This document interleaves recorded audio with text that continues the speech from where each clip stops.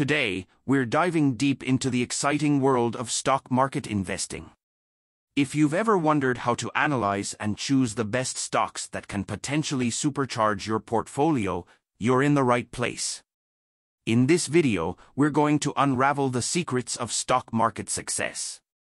Whether you're a seasoned investor looking to refine your strategy or a beginner taking your first steps into the world of stocks, this video is packed with valuable insights that you can apply to make informed investment decisions. The stock market can be both exhilarating and intimidating, but with the right knowledge and approach, you can navigate it like a pro. We'll break down complex concepts into simple, actionable steps, so you can start building a robust portfolio that aligns with your financial goals.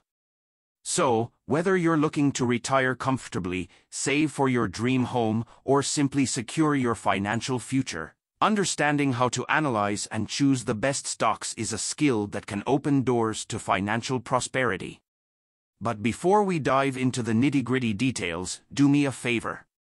Hit that subscribe button and like this video to show your support for valuable financial content. And if you have any burning questions or thoughts along the way, don't hesitate to drop them in the comments section below. Let's embark on this enriching journey together. Let's kick things off by laying a solid foundation. In this section, we'll dive into the fundamentals of the stock market so that everyone, from beginners to seasoned investors, is on the same page. The stock market, often referred to as a marketplace for buying and selling ownership in companies, plays a pivotal role in the global economy. It's where companies raise capital to grow and where investors like you and me have the opportunity to own a piece of those companies. At its core, a stock represents ownership in a company, and owning a share of stock means you own a proportional part of that company.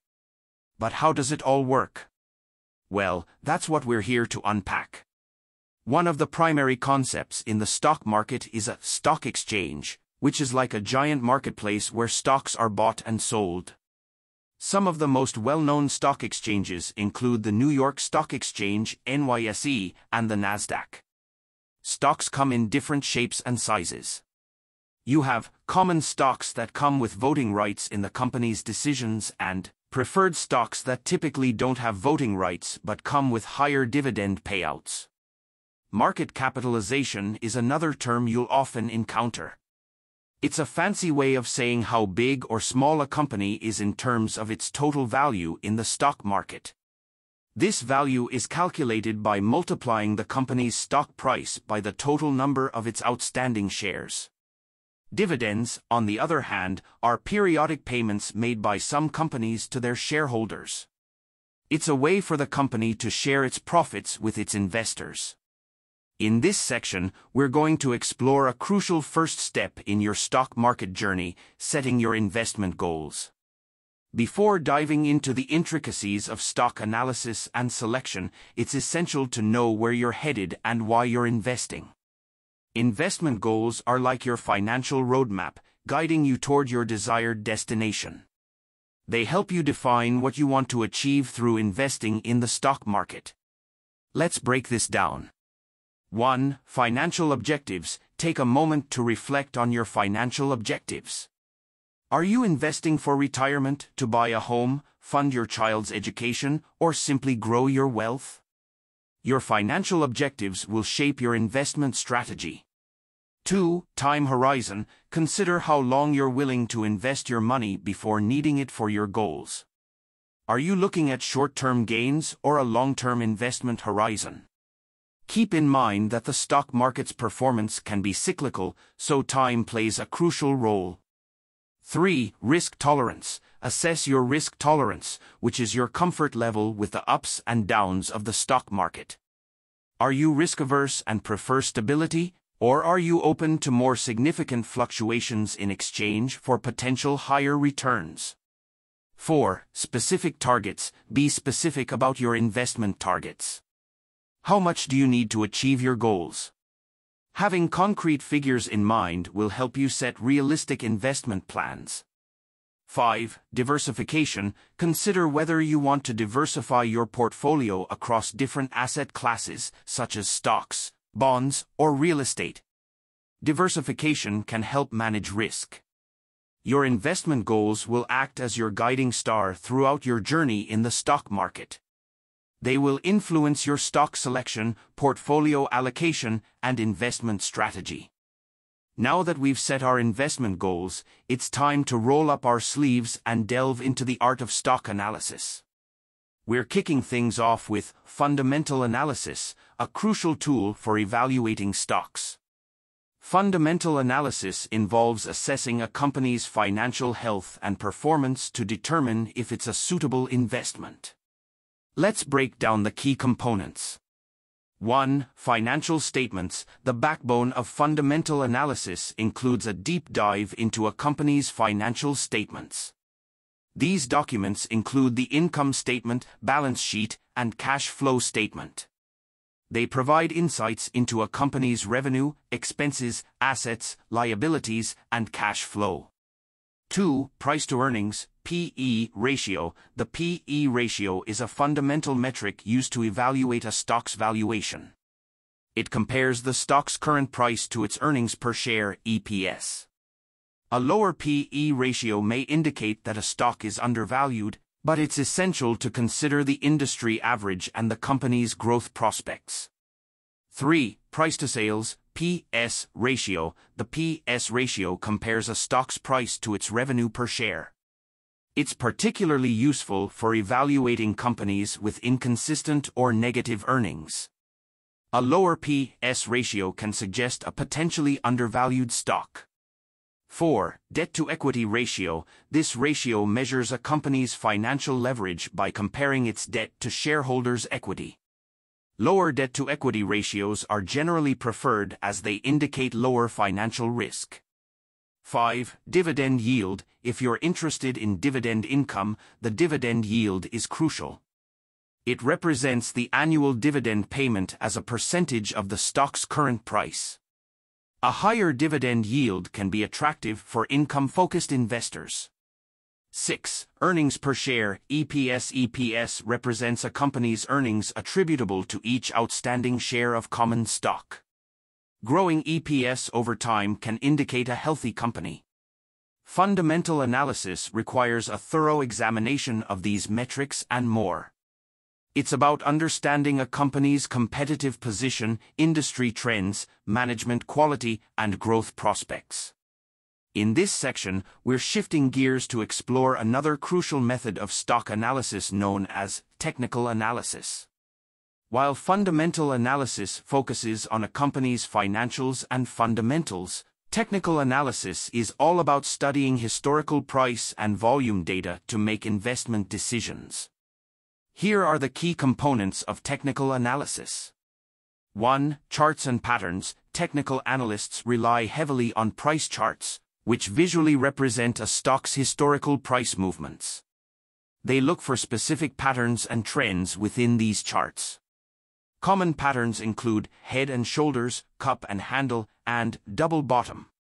2. Moving averages. Moving averages are used to smooth out price data over a specific period, helping analysts identify trends. The simple moving average SMA and the exponential moving average EMA are two popular types. 3. Relative Strength Index RSI The RSI measures the speed and change of price movements. It's used to determine whether a stock is overbought, potentially due for a pullback, or oversold, possibly poised for an uptrend.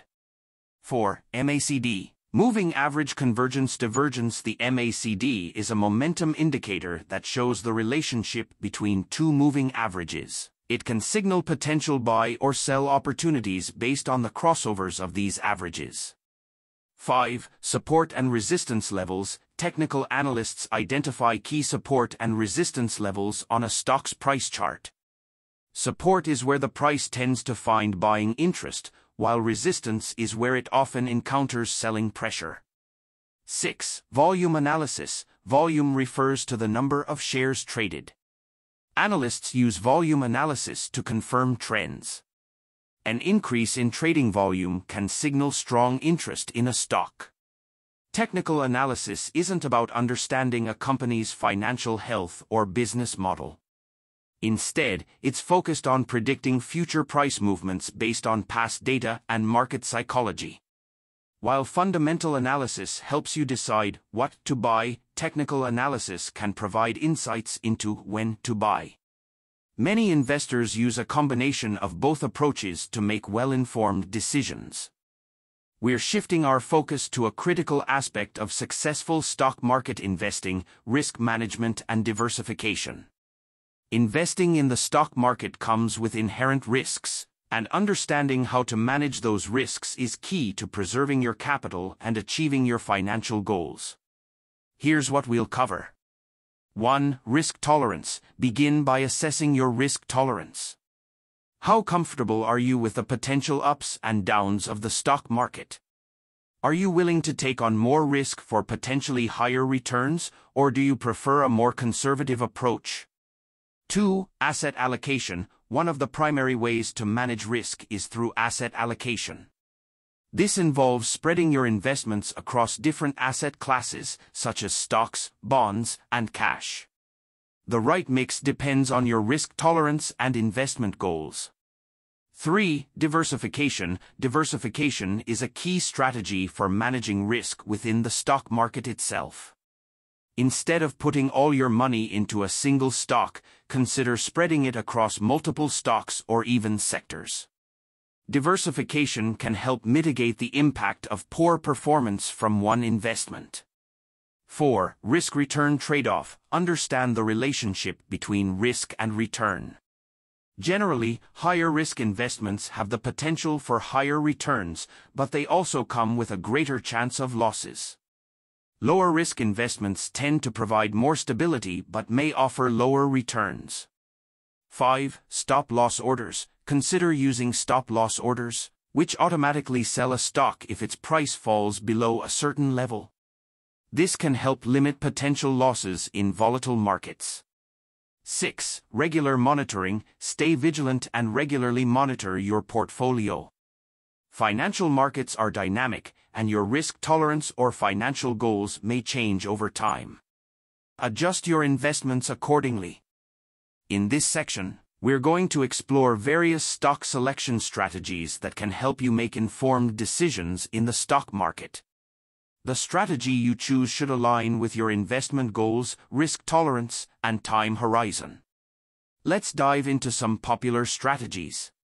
1. Growth investing. Growth investors seek stocks of companies with strong potential for future growth. They look for companies that are expanding their market share, launching innovative products, and experiencing rapid revenue and earnings growth. 2. Value investing. Value investors focus on stocks they believe are undervalued by the market. They search for companies with strong fundamentals but whose stock prices don't reflect their true worth. This approach often involves analyzing financial ratios and looking for bargains. 3. Dividend investing. Dividend investors prioritize stocks of companies that pay regular dividends. These investors aim for a steady income stream and long-term capital appreciation. They often seek stocks of established, financially stable companies. 4. Income investing. Similar to dividend investing, Income investors prioritize generating income from their investments. They may invest in dividend stocks, bonds, or other income-producing assets to meet their financial needs. 5. Sector investing. Sector investing involves focusing on specific industry sectors, such as technology, healthcare, or energy. Investors may choose sectors they believe have strong growth potential or defensive characteristics. 6. ESG investing, ESG, environmental, social, and governance. Investors consider a company's impact on these three factors when making investment decisions. They seek stocks of companies that align with their ethical and sustainability values. 7. Momentum investing. Momentum investors follow the principle that stocks that have performed well recently will continue to perform well in the near future. They use technical analysis tools to identify stocks with strong momentum. 8. Contrarian investing. Contrarian investors do the opposite of what the crowd is doing. They seek opportunities in stocks that are out of favor with the market but may have the potential for a turnaround.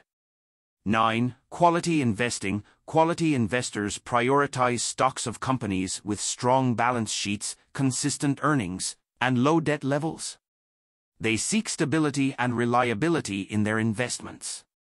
Your choice of strategy should be based on your unique financial goals, risk tolerance, and preferences. Some investors also combine multiple strategies to create a diversified portfolio.